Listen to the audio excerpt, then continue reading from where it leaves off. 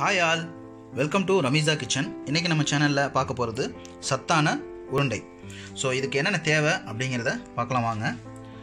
ஒரு கப்பு நிலக்கடலை வறுத்தது அரை கப்பு வறுத்த எள் அரை கப்பு பொட்டுக்கடலை வறுத்தது லேசாக அதே மாதிரி அரை கப்பு அவல் லேசாக இளஞ்சூட்டில் வறுத்து எடுத்துக்கோங்க.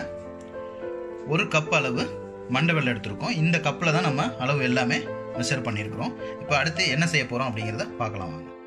நம்ம எடுத்து வச்சுருந்த கடலை பருப்பு எல்லாத்தையும் ஒன்றா மிக்ஸ் பண்ண போகிறோம் இப்போ நிலக்கடலையை போடுறோம். அடுத்ததாக பொட்டுக்கடலை.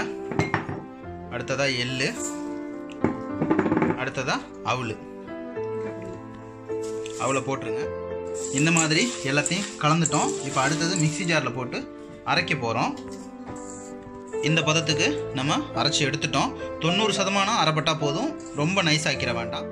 ஸ்டவ்வில் நம்ம ஒரு ட்ரை ஃபேனில் நம்ம எடுத்து வச்சுருந்த வெள்ளத்தை நாலு டேபிள் ஸ்பூன் அளவு தண்ணி விட்டு இந்த மாதிரி உருக்கி எடுத்துக்குவோம். நம்ம உருக்குன வெள்ளத்தை வந்து இப்போ ஃபில்டர் பண்ணி எடுத்துக்க போகிறோம் ஏன்னா அதில் வந்து டஸ்ட் இருக்கும். மண் எதுவும் இருந்துச்சு அப்படின்னா ஃபில்டர் பண்ணுறது நல்லது. இப்போ இதை வந்து கம்பி பதத்துக்கு காய்ச்சி எடுக்கணும். நம்ம லேசாக உருகினவுடனே ஃபில்ட்ரு ஃபில்டர் பண்ணிட்டோம். இப்போ அடுத்ததாக கம்பி பதம் வர்ற வரைக்கும் காய்ச்சுவோம். கம்பி பதத்துக்கு நம்ம வெள்ளத்தை உருக்கிட்டோம். அடுத்ததாக நம்ம பவுடர் பண்ணி வச்சுக்கக்கூடிய கடலை ஐட்டம் எல்லாத்தையும் நம்ம அதோடு சேர்த்து கிண்ட போகிறோம்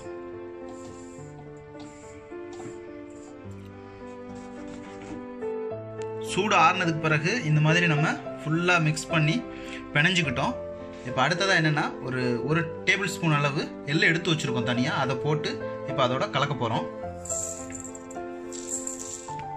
அதையும் போட்டு நல்லா பிணைஞ்சிருங்க.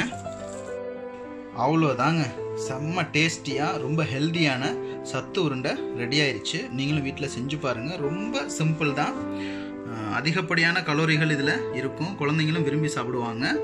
மீண்டும் ஒரு சுவையான ரெசிபியில் சந்திப்போம்.